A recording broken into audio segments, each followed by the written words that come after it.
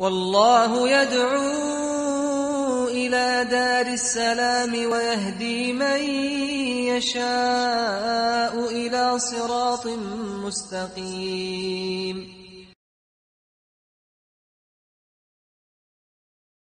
الآن بارك الله فيكم. جدت أشياء تفرعت أو أفرزت. عن قاعدة المعذرة والتعاون.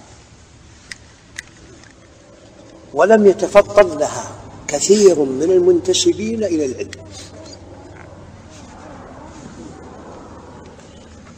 ومن هذا وهذا له أمثلة كثيرة. منها أنه إذا أصاب متلوث بالحزبية والفلسفة الفكرية في أمر أو أمرين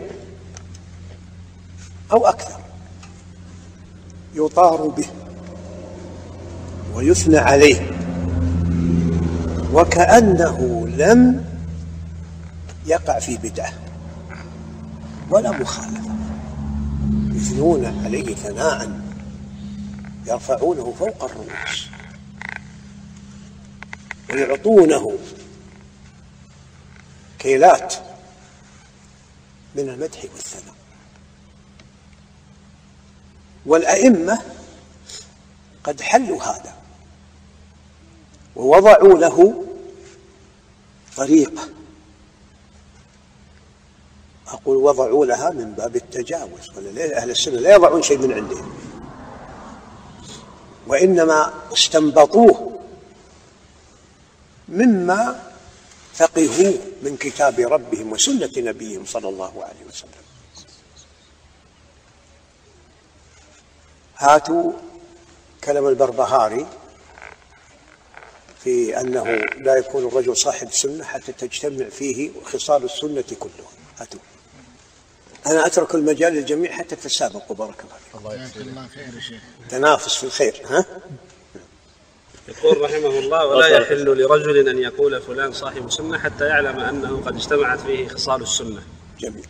فلا يقال له صاحب سنة حتى تجتمع فيه السنة كلها. جميل. قال عبد الله بن المبارك أصل 72 هواء أربعة أهواء فمن هذه الأربعة الأهواء تشعبت ال 72 هواء. إلى آخره أحسنت ما سبق. أدركنا المقصود بارك الله فيكم. كذلك؟ نعم ما شاء الله. فتفطنوا إلى هذا. كم رجل متلوث راجع على أهل السنة. بسبب ثناء من هو يرى من, يرى من هو عندهم أكبر منهم. نعم.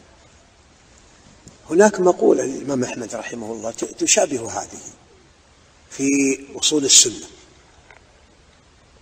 قال ومن السنة اللازمة. إلى آخر العبارة. هاتوا.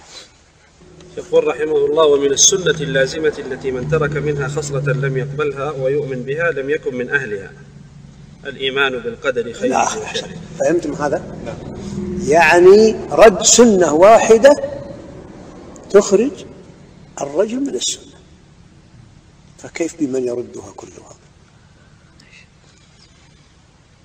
هنا قد يقول قائل كيف؟